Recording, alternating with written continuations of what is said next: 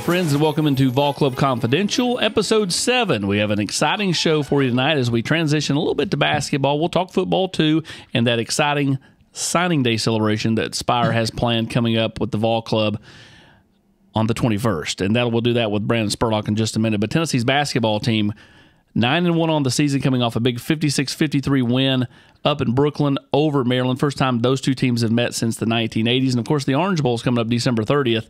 Tennessee and Clemson. The Tennessee basketball team, the Tennessee football team, both ranked sixth nationally as we sit here in the middle part of December. An exciting time here on Rocky Top. Now let's bring in Brandon Spurlock of Spyre. Brandon, Vol Club, big signing day celebration coming up on the 21st. How can fans find out more about the event?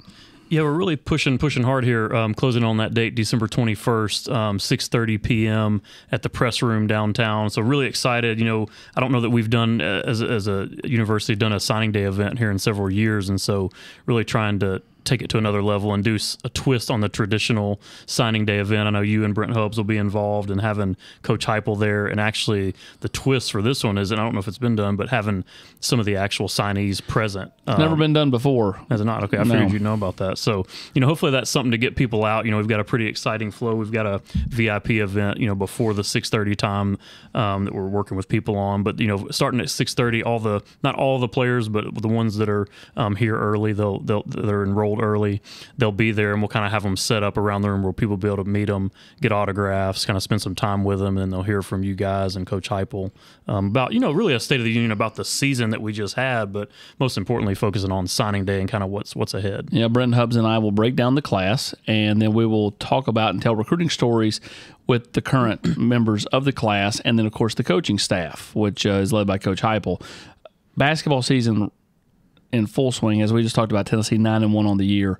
Uh, big game next week on the road at Arizona. But once they return home for SEC play, you all will have some not I mean not tailgates because nobody's trying to try to be outside in January, but like some inside type tailgate stuff during the games and some watch parties. Yeah, I think this is the cool part of having you know your your, your programs competing at the highest level. You kind of get the whole calendar to work with, not just football, but um, baseball and basketball. So in the spring, you know, we did the baseball porches. We did some of that early on as we were getting the the Vol Club off the ground. You know, with football, we did the tailgates, and with basketball, we're going to do watch parties here at our office. We've got a pretty good setup, you know, to do that, and then we're going to take that show on the road. Um, so so Vol Club members should be looking out for that soon in terms of you know major cities and then cities where where we have an interest, you know, between Nashville, Memphis, Tri Cities, and Chattanooga, doing those watch parties. And then um, the other thing that we've got going right now for our members um, or, or, or, new members is anyone that does like an annual membership before the end of the year, there's certain promotions that they can take advantage of um, in terms of gift cards and things like that. So check out thevolunteerclub.com for all that information, the, the signing day event, the promotions, um, and then the watch parties. We'll be reaching out on those. That's right. And make sure you check the newsletter with the Volunteer Club. Now, let's get to the main attraction. It's the little big guy, Zakai Zeigler.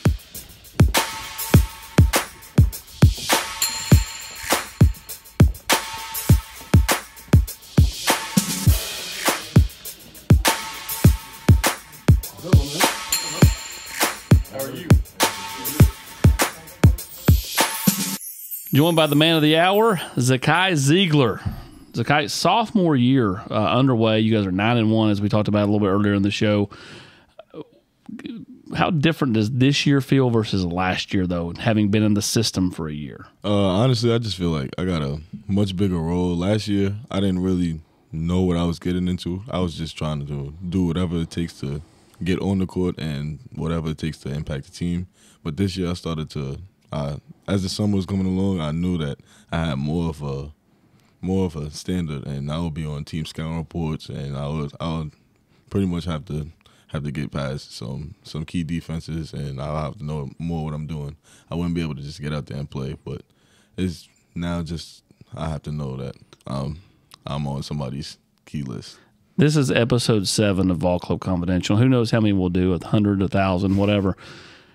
I don't think there'll ever be two contrasting voice styles. You've got the the pride of Rogersville, Tennessee here, and then you've got the pride of Long Island here. So it's you know, got the country twang, and then you've got the the New York.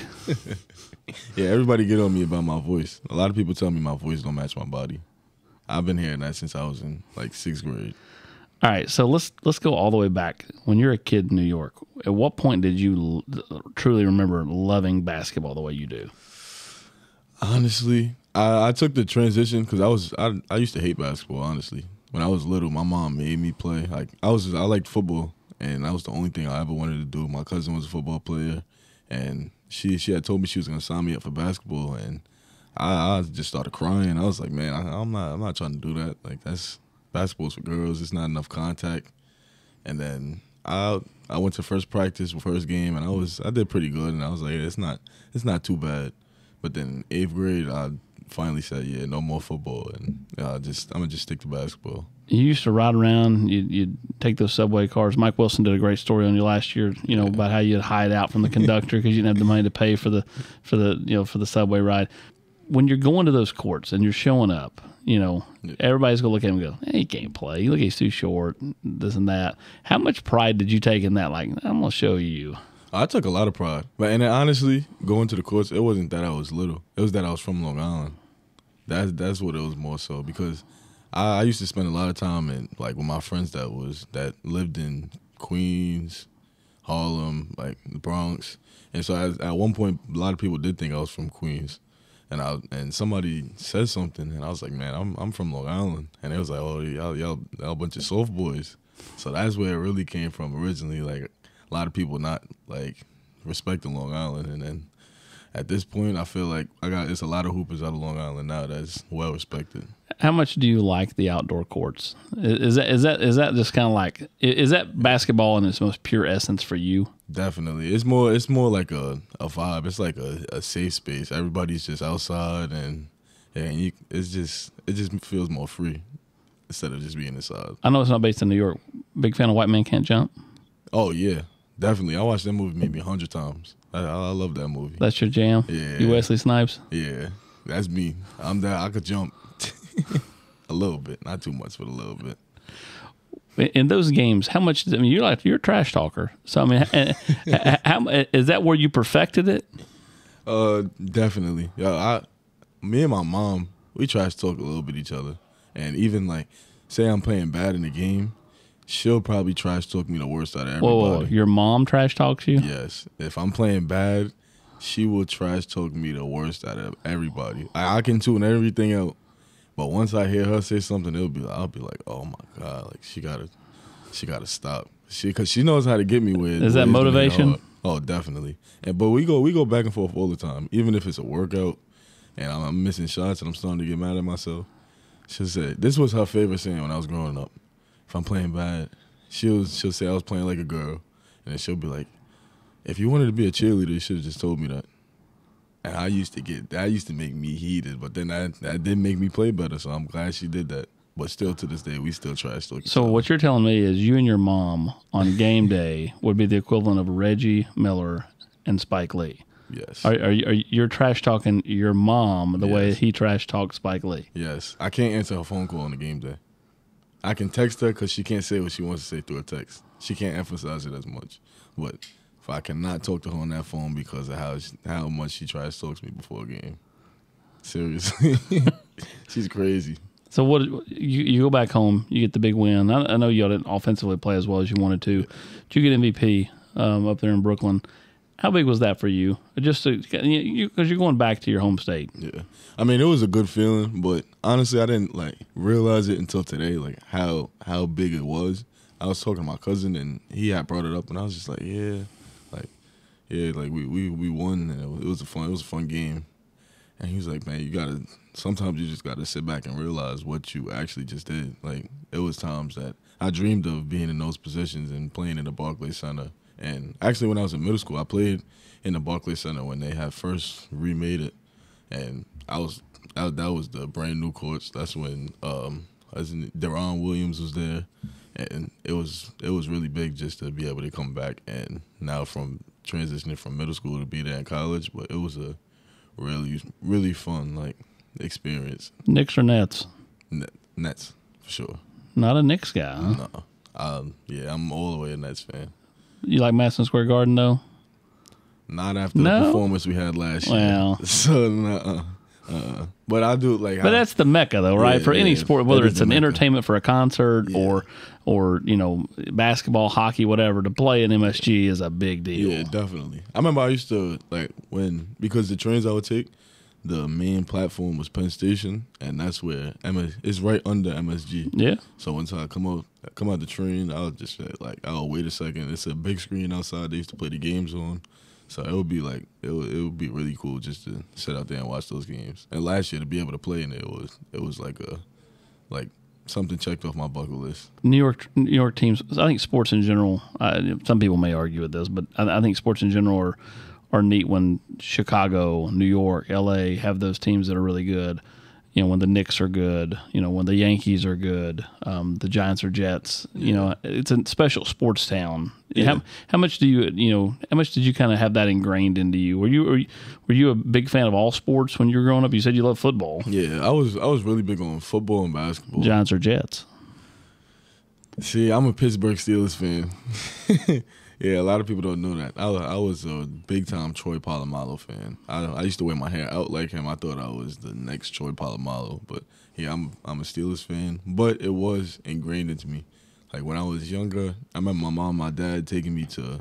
Um, well, I don't really remember, but I remember them telling the story of how how they took me to Madison Square Garden and uh, we went to go watch Stephon Marbury play. Oh, And they they was telling me, I kept saying like, yeah, I want. They got me this little little uh, basketball from the toy shop or whatever, the shop in MSG. And I was just kept saying like, mom, I want to put that ball, this ball in that basket. I want to shoot in that basket. They kept telling me I was trying to run down and go shoot the shoot in the hoop, but that that that's a story that I'll always remember. How much do you follow basketball history? I mean, like, do you, do you like do you know where Stephon Marbury played a college ball at? Do you do you, do you follow it like that, or do you? Not really. I follow it a, a little bit based on players and what which I like most, but not not too much. Not too much. Jordan or LeBron? I say Who's the goat? I say LeBron because I saw what LeBron did. I did not see what Michael Jordan did. I hear. How, how much did you watch The Last Dance though, and did that kind of? I watched it, but still, You I aren't saw- I living s- it. I yeah, I'm not living it. Like I understand, but I saw what LeBron did. That three when he came back three one finals. That was that was some of the craziest things I ever saw. Do you and your teammates ever get into that debate, or are you all Oh, just yes. all like? how how many teammates on this team would take Jordan? Because I mean, most of them are in the LeBron era, so like it's kind of natural for someone at your age to go with LeBron, whereas like my age, it's natural to go Jordan. Yeah, I, I would say probably. I would say two, but I wouldn't say that they would pick Jordan or LeBron. I think they would just they would just want the argument. They would get their Yeah. point across. They would just try to win the argument, and that's definitely Olivier and Jahmai. They are going to try to argue their way and win the. Are they the greatest debaters on the team? Yes, yes. They're, them those two having a conversation. Uh, one of the funniest things I've seen. So you're telling me that they, they should be the tandem of the law firm of Nkamhoua and Mashack. Yes, definitely because they they're gonna make sure that you know what their point is, and they're gonna get their point across, and they're gonna make sure you believe what they believe. They're crazy. All right. So when when you're growing up and you're and you're hitting those those those gyms, you know, uh, in Long Island, at what point, you know, when you started to really love basketball, you know, when you got past eighth grade, did you really start to perfect who you are as a player? You know, little jitterbug, defensive, just pest, just all up in your grill, and then you know, quicker than a hiccup, getting off the bounce. I would say about a few months before I came to UT, because I always I was always like, hey, I got to score the ball, I got to do this, that, and I had a AAU coach. I lived in Queens, and uh, the A, this AAU coach, Coach Shan, he had called me from New York Lightning, and he was asking me to play and stuff, and he. He he had used to live in the projects that I used to live right next to, so he had felt like like we had a connection in a way type already, and he was a small guard, and so he he had told me like, yeah, uh, did, if you want to get to it, you want to get to this. This isn't gonna work. Though my way is won't work. And I just took it on the chin and said, all right, I'll, I'll listen to you. And once once I finally listened to him, Peach Jam is when I actually performed and, and and did what he had told me to do. And now I'm sitting here today. you're this hard nosed, tough kid from New York. Rick Barnes is really tough to play for, and he demands so much out of his point guards.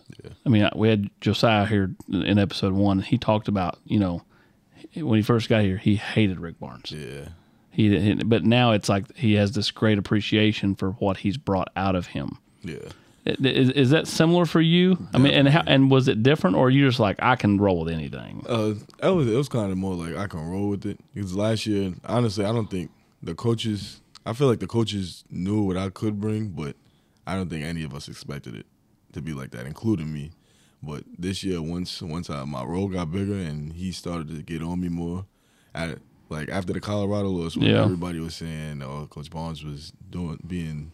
When he moved you to the bench and then had you coming off and you played just as much. Yeah, yeah, I felt like it was just tough love, and it was Sure. just it was just out of he knows what I should do and what I can do. So I don't I don't see it as him being mean or just just rough only on me or picking on me. I just see it as constructive constructive criticism. How would you describe him? I, uh, Josiah described him as a called him a psychopath, which is funny just because I mean, like how how he co- how he coaches a certain way, but as soon as practice ends, That's why I thought goes back to putting your arm around him and back to like you know talking about you know Yeah. just life and having a good time. I would thousand percent agree with what Josiah said. I've seen him one day yell at somebody and then turn around and just start laughing and joking around. And turn back around and start screaming at us. Walk up the court and turn and start laughing. So he's two different people on and off the court. Off the court he's he's one of the most down to earth guys I know. Like he he really cares about us more more than humans and people rather than just basketball players. On the court he just wants us to be the best we can be. Basketball staff's pretty tight knit. I mean, he's had a few you know a little bit of turnover here recently with with you know Dez getting a job and and and you know different different people moving on. Um, but you know you've got Mary Carter over there. She's a key piece to the puzzle. Yeah. Tom Sakoviak, key piece to the puzzle. Mm-hmm. Football's so big. Basketball, you know, Yeah. way fewer players, sports staff, all that. How would you describe the group? And I don't mean just players, the whole deal. it's like the quote we always use, Enom, it's not about me. Everybody is always putting their foot forward for somebody else. They're not just doing something rather for to benefit themselves. They always pretty much we always have each other back. No, like if if it puts me in a bad position but puts everybody else in a good position, I think everybody will will do what they have to do. That, that's how I describe our our whole program, You know, most people know uh, Zakai's story. Last year, middle of the year, um, your house got burned down in New York. Your, luckily, no one was you know hurt, but you know you lost everything in a blink. You had to go out and and play like right almost immediately. Yeah. When you found out, and then had to have that quick turnaround, what's going through your mind? Honestly, I, I was trying to keep it off my mind as much as possible, but it was just it was just so tough because I remember we went to Georgia, we had shoot around. I was I wasn't I wasn't feeling it that much, and then we got to the game. We started warming up, and I, I was fine. And then I remember right before the game, I turned and I saw my mom, and I was just like all my energy just shut down. And once I got in the game, it was it was it was it was ugly. I, I didn't play well, but thankfully that was the one time I got some sympathy from Coach Barnes, and he, he let he let me off the hook that that one time. And I told him it won't happen again, but it it, it was pretty tough, a pretty tough turnaround. But then after that Georgia game, we played Arkansas, and it was it was all back to normal.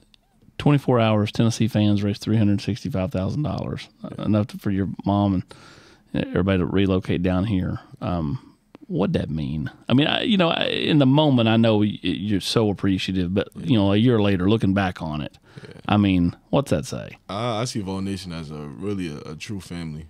It, it was it was much more than basketball at that point. It wasn't A family you weren't even a part of just a few months earlier. Exactly. That's how I looked at it. I'm really big on family. My mom, she we we're super close. We we're like best friends. We we we argue all the time. We talk all the time. We we're like we're just like best friends. So just to see the people of our nation have our back like that and in a blink of an eye, just to, just say they can help us out and and just for it to come to that, it was it was like words can't explain like how thankful and how much I really appreciate it. You see what the football team, uh, you know, did this year at ten and two. Yeah. You know, th- those kids getting Tennessee football back.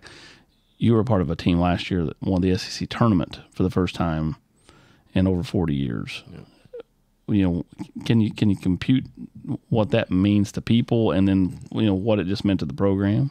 Oh, it, it was it was a crazy feeling because we didn't we didn't stop playing that game until that final buzzer went off. It was maybe one second left. We were up 15, and we all looked up, and then everybody started celebrating. We were it was like a it was just a, a, a crazy feeling. It's a feeling that I expect to have again this year too. Nickname is it just Z or is it ZZ? Z, ZZ, Ziggy. I got a lot of people call me Kai. But yeah. What's your favorite? along that line. I honestly just say Kai. Like if somebody asks me, I would say my name is Kai. What's your middle name? Starts with a Z. So it's three Z's. Yeah, triple Z. You can take a guess what it is. Zeke. Zeke. Zakai Zamik Zeigler. Oh, I was never going to guess that. yeah, I wanted to see what you guess it. What if I had though? You'd been like, Yeah, I would have said you looked it up. That's what I would have said. I'm thorough. I'm not that thorough. Um, so you got triple J, you got triple Z. You know, hey, maybe that's a new thing. All right, we're going to take questions from Instagram and Twitter. Um, how's your family settling into the new house down here? Oh, they're settling great. They they love it. My nephew, he he flies down the stairs all all day long. He, my mother, she loves that she has a kitchen to herself. She could cook, she can move around.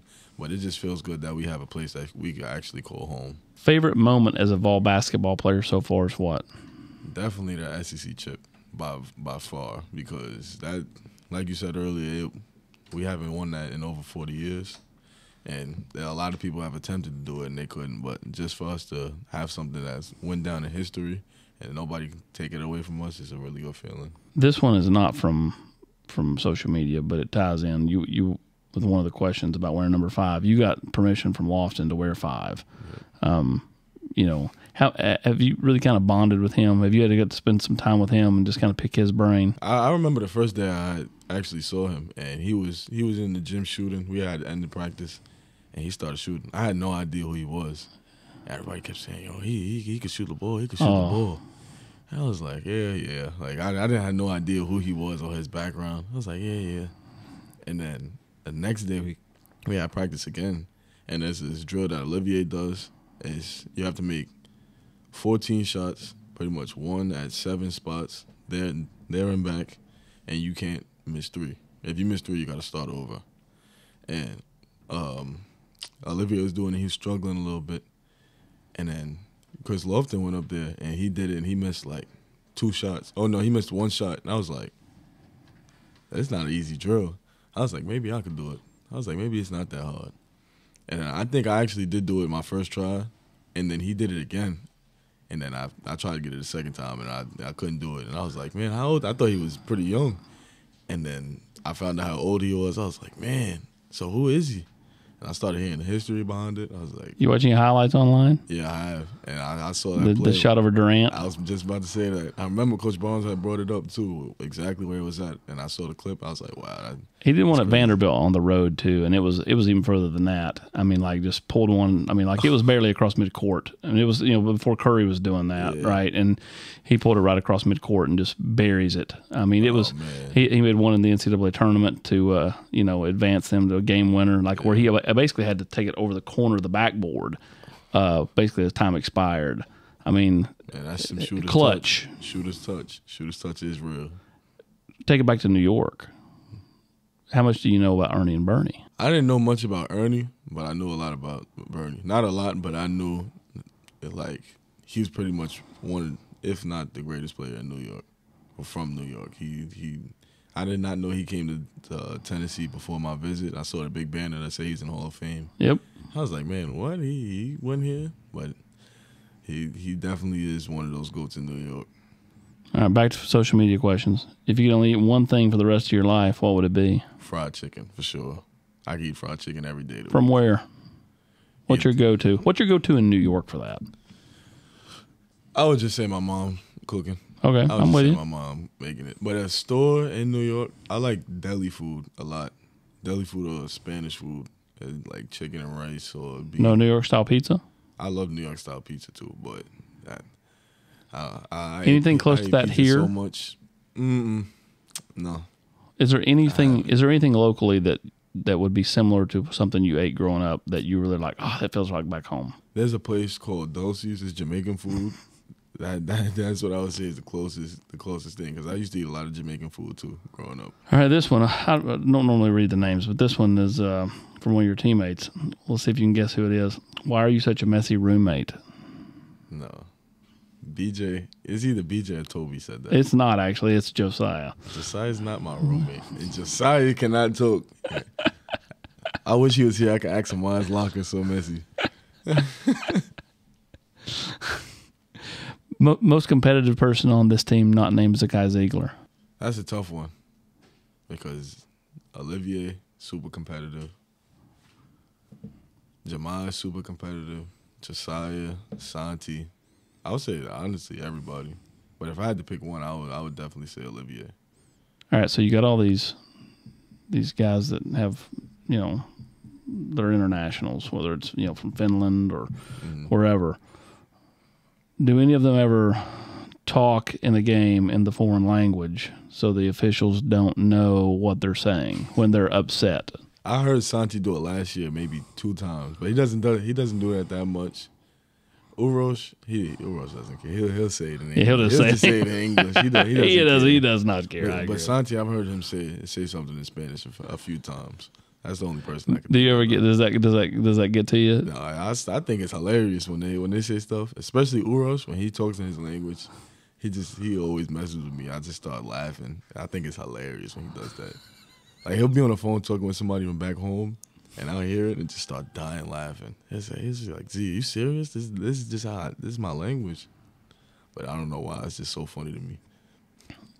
Favorite sport to go to, not named to basketball. Is it football or do you like baseball? You went to a bunch of baseball games last I year, definitely did. I I never went to a baseball game before I got here. so you never went to a Yankees game growing up. Never. I was I only I went to a Knicks game when I was younger. I went to a few Nets games and I went to a few Giants and Jets games, but I never been to a baseball game. I remember Josiah was trying to get me. He was pulling me out of the room when we were roommates, and he was like, "Hey, let's go to this baseball game." And I wasn't really feeling it because I never really watched baseball like that. I didn't Yeah. understand it. I kept saying like, "I'm not trying to go to a three hour game for the score to be one to two. I don't want. I don't. I'm not. I don't want to do that." And So then- soccer really where you shut down then? yeah, soccer. Um, I went to. You're so quick though. I think you could be good at that. maybe, maybe that takes a lot. That takes a lot. Of, A lot of footwork skill. I, I don't know if I have that yet. but uh, I went to a soccer game too, and I stayed until halftime, and I was like, man, I have to leave. I can't. I can't do it. It was zero zero. I, didn't- I didn't like it. But baseball definitely. I went to a few a few of those games, and I once I started to learn like how to actually play it, not play it, but the rules of it. Sure. It was it was pretty fun, and I know some baseball players too. I was in class with them at that time, so it was, it's pretty cool. How much do you enjoy that portion of it from a just being another being a classmate?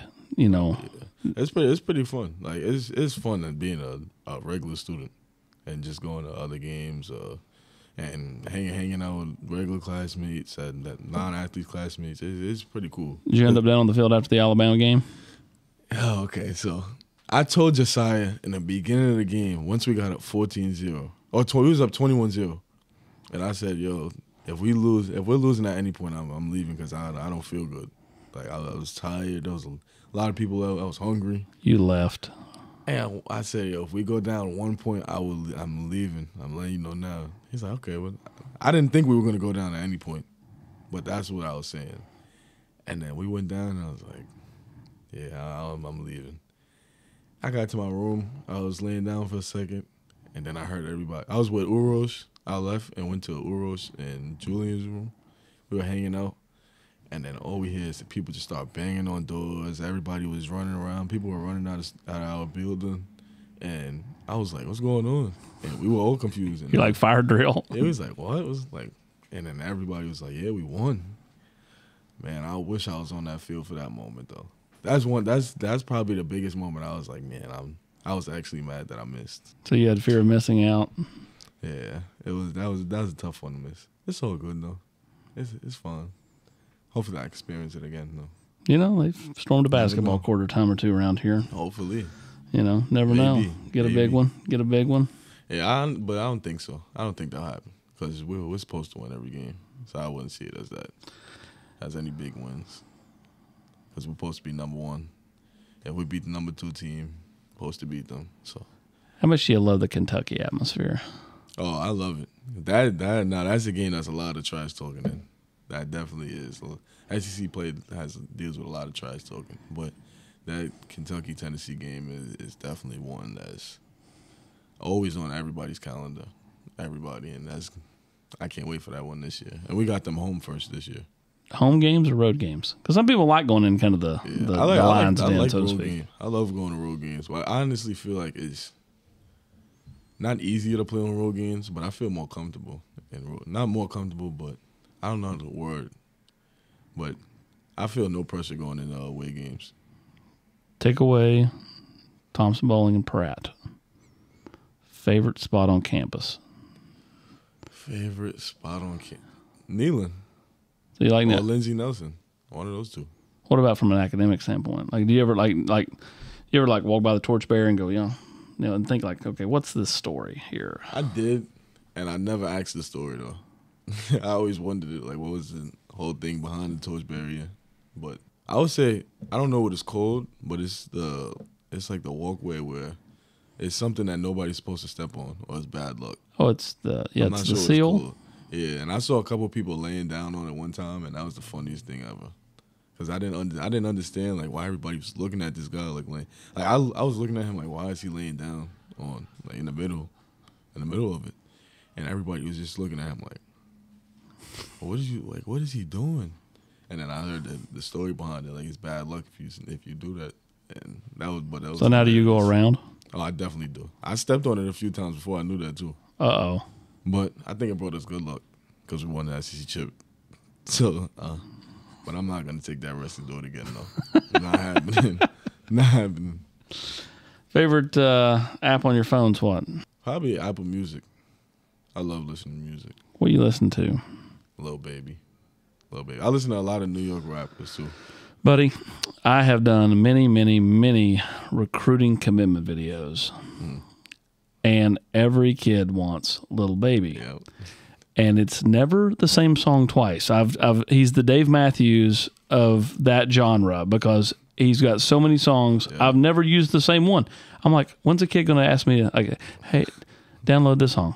And then the worst is like when they go, I want this song, and then you download it, and then you're like, no, no, no, I want to do this song.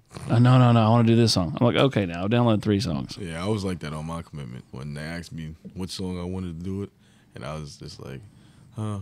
It was like three different Lil Baby songs, and I said, all right, I want this one. But it was all Lil Baby for sure. What's something most people don't know about you? A lot of people don't know I'm actually very shy. A lot of people don't know that. They expect me to be not the loudest person, but I feel like they expect me to be very outgoing. But I like when I go to class and I just sit back and uh, I'm super quiet in class. A lot of people don't don't expect that from me. Now, when I get to know you, I'll probably be the loudest person you know. But before you get to know me, I'll be a little bit shy. So can I expect you to yell at me from from now on when you see me? Not like yell at me, but you know. Definitely, definitely. You're gonna be chatting my ear off? Yeah, a little bit. All right, here's your question. So my daughter plays, you know, she plays in the Hardin Valley Youth Basketball League, and she she's on the short side. Yeah. And so Saturday, I was explaining to her, I'm like, hey, you can't once you get the rebound, you can't go down. Once you take it down, you're done because the girls, other girls, will get in there. Mm-hmm. And so, like, I started showing her highlights of you. I had her watching the game the other night. Yeah. What advice would you give her? Because she said, because her thing was, I'm shorter than everybody, and I said, yeah, but that's that you can't let that be, you know, your handicap. You you have to find ways to to overcome. You do that. I would just say playing the hardest because that, believe it or not, that is intimidating to a lot of people. Once they see you step on the court and they they see you, that you're trying their hard your hardest, and they might say, "All right, I need to I need to raise my level of play," just because they see how much how much you're doing and how much you actually care. But I would just say giving it your all, no matter what, on that court. What's the one thing individually you want to accomplish before you're done?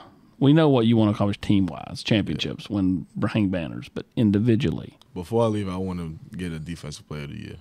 That that is one goal of mine that I always looked at, and I always felt like it was the, it was more cool than being an MVP. One way to keep Barnes off of you too. Yeah, definitely. But I always felt like that was that that was more, like that was a cooler look than being a most outstanding player or, or most valuable player, definitely defensive player. Well, Zakai, we appreciate the time. It's a great kind of dive and deep dive and kind of getting to know you, Troy Polamalu. Yep. You're a big football guy. Yep. It's never been to a Yankees game. We're learning baseball, I gotta go to one. When I and he go missed the Alabama celebration. I was on the outside. I was I wasn't inside kneeling. I was on the street though, so I got a little bit of it. He got a little bit of it. What a story! And he's just a sophomore, and we're only ten games into his sophomore season. Many, many more stories to be written over the next couple of years. We appreciate you joining us on Vol Club Confidential. Appreciate you.